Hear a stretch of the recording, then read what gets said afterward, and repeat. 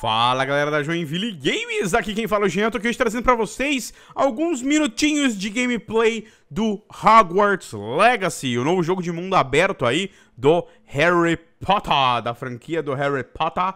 E é isso aí, eles trouxeram finalmente, a gente já tinha visto um pouquinho da gameplay, um trailer ou outro, e agora não, estão saindo várias gameplays. Essa que vocês estão vendo aí é uma que tem uns 20 e poucos minutos com os desenvolvedores ali comentando, tem uma que saiu de 46 minutos, então tem várias gameplays mostrando bastante coisa. Aí é só você procurar na internet e, e dar uma olhada aí, né, mais é, nas gameplays um pouco mais compridas. Não vou trazer aqui no canal, porque senão é muito tempo aqui pra galera ficar assistindo. Mas é, vai procurar aí, você que tiver um maior interesse, tô aqui pra trazer as informações só de que eu assisti, tá? Todas elas. Eu sou. Eu gosto um pouquinho de Harry Potter, eu gosto, li todos os livros e tal. Sou um pouquinho é, fanzoca.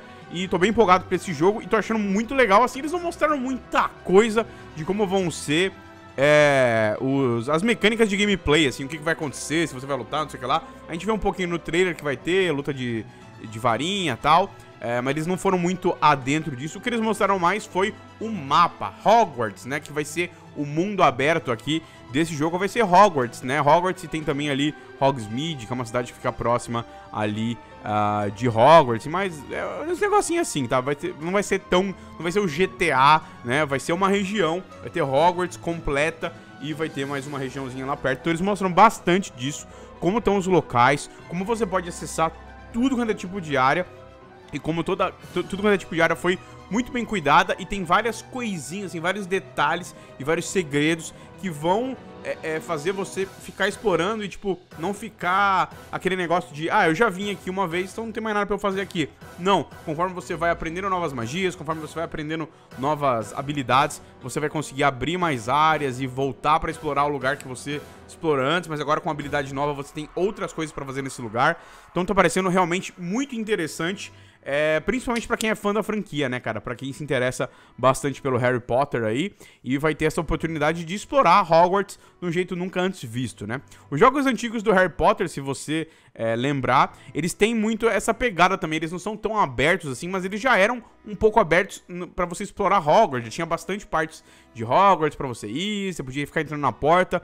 Isso jogos lá do PlayStation 1, né? E conforme foi passando aí até os outros jogos já um pouco mais avançados, até, até o PlayStation 3, que foi onde terminou de sair os jogos do Harry Potter, também já foi avançando esse, esse ponto de mundo aberto, né? Se eu não me engano, no, no da Ordem da Fênix, que acho que é o quinto jogo, ele já tem um mapa bem legal é, no PlayStation 3 já de Hogwarts, assim, bem definidinho e tal, mas é, já era bem legal pra época, né? Mas olhando esse aqui, olhando a qualidade gráfica desse jogo e olhando é, é, a expansão dos territórios de Hogwarts, faz realmente parecer que é um lugar cara, enorme, assim, e realmente incrivelmente grande, né? Um castelo. E aquele negócio, né? Como é no mundo do Harry Potter, às vezes o espaço físico não determina é, o tamanho da sala, né? Às vezes você olha a sala por fora, você acha que ela é menor, mas você entra, ela é muito maior. Isso tem. É, é, é um, é algo factível dentro do mundo do Harry Potter, né? Um fato que acontece muito lá na, na como tem magia, né?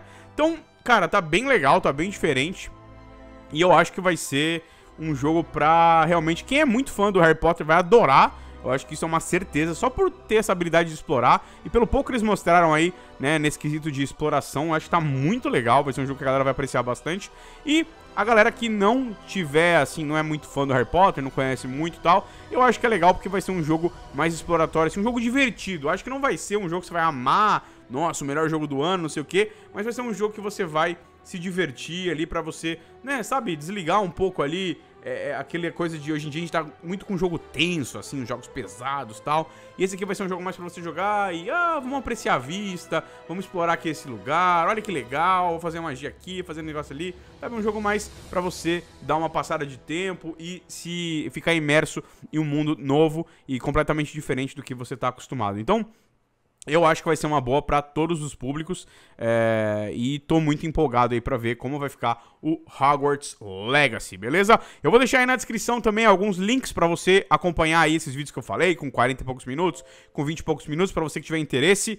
E é isso aí, deixa nos comentários aí o que, que você achou, tá empolgado? Não tá? Quero saber a opinião de vocês, se esqueci de falar alguma coisa aqui também nesse vídeo, por favor, deixa aí nos comentários. Não esquece também de deixar aquele joinha maroto para ajudar aqui na divulgação, não esquece de seguir as nossas redes sociais, sociais e também não esquece de se inscrever no canal, clicar no sininho e acompanhar todo outro conteúdo aqui do canal da Joinville Games, beleza?